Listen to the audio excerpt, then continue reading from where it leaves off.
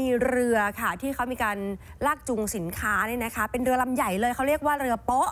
เห็นในแม่น้ำเจ้าพระยากันอยู่บ่อยๆนี่นะคะ ที่จะเป็นลักษณะลำใหญ่ๆ แบนๆน่ะแล้วก็เหมือนจะมีการขนตู้คอนเทนเนอร์ต่างๆนี่นะคะ ปรากฏว่าเจ้าเรือลำใหญ่ๆเนี่ยมันไปชนเสาตอม่อของสะพานข้ามแม่น้ำบางปะกงที่ฉะเชิงเซาอืมคือจนถึงขั้นว่า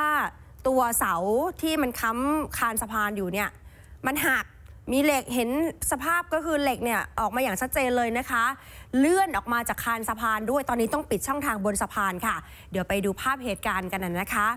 นี่แหละมันหวาดเสียวนิดนึงนะ เสาที่ค้ำยันสะพานแม่น้ำบางปะกง ถูกเรือชนอะเห็นไหมคะมี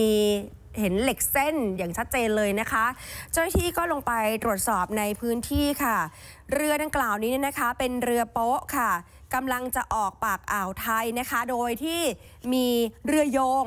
เรือโยงก็จะเป็นลักษณะของเรือที่ลำเล็กกว่านะคะเขาก็จะใช้นำทาง ทั้งดึงทั้งผ่อนให้เรือขนส่งสินค้าที่เป็นเรือโป๊ะเนี่ยนะคะ สามารถที่จะไปตามร่องน้ำได้เผอิญว่าช่วงนั้นนะคะเป็นช่วงที่น้ำลด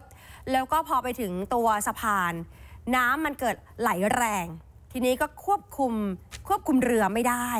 นะเจ้าเรือเรือโป๊ะลำใหญ่ๆเนี่ยค่ะก็เลยไปชนเสาต่อหม้อดังกล่าวนี้นะคะของสะพานข้ามแม่น้ำบางประกง เป็นถนนบางนาตราดมุ่งหน้าชนบุรีใครที่จะไปข้ามสะพานนี้ ให้ระมัดระวัง เพราะว่าตอนนี้เขาวางแบรีเออร์ไว้ วางกรวยเอาไว้เพื่อให้เลี่ยงเส้นทางแบบนี้ค่ะนะคะ เพื่อไม่ให้เกิดแรงสั่นสะเทือนเส้นนี้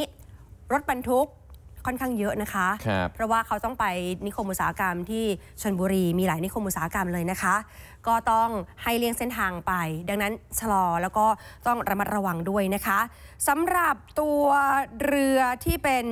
เรือโยงนะคะ กับตันเรือในยชื่อนายปรัชญาอายุ 27 ปี แล้วก็มีนางสาวเจนจิราอายุ 34 ปี เป็นภรรยาของกัปตันเรือก็ให้ข้อมูลนะคะ บอกว่า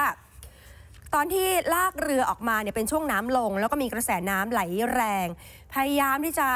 ลากเรือเข้าร่องน้ำเนี่ยเพื่อที่จะให้ลอดใต้สะพานแม่น้ำบางปะกงนี้ไปให้ได้ แต่บังคับเรือไม่อยู่ก็ไหลออกนอกเส้นทางแล้วก็มาชนเสาตอหม้อดังกล่าวนี้ค่ะ ส่วนเรือโป๊ะเนี่ยนะคะ เป็นเรือบรรทุกสินค้าที่ชื่อว่าภูมิพัฒน์มารีนหนึ่งมีนายบุญหลายอายุ 58 ปี ก็บอกนะคะว่าตนเนี่ยอยู่หัวเรือ แล้วก็กำลังจะลอดสะพาน เรือเบรกไม่อยู่ค่ะน้ำมันไหลแรง ส่วนเรือลากที่ดึงอยู่ด้านท้ายเนี่ยก็ดึงไม่ทันนะคะ ก็เลยทำให้อัดเข้ากับตอหม้ออย่างแรงดังสนั่นเลยนะคะตอนนี้เจ้าหน้าที่ตำรวจเจ้าหน้าที่การท่าแล้วก็รวมไปถึงเจ้าหน้าที่ทางหลวงด้วยเนี่ยนะคะ ก็คงต้องไปตรวจสอบความเสียหาย แล้วก็ประเมินมูลค่านะคะว่ามีมูลค่าความเสียหายเท่าไหร่ เพื่อจะเร่งซ่อมแซมให้กลับมาใช้งานโดยเร็วค่ะ อืมอันตรายนะจริงๆอุบัติเหตุจริงๆนะอืมอืมต้องรีบซ่อมแซมนะครับปล่อยไว้ไม่ได้จริงค่ะๆ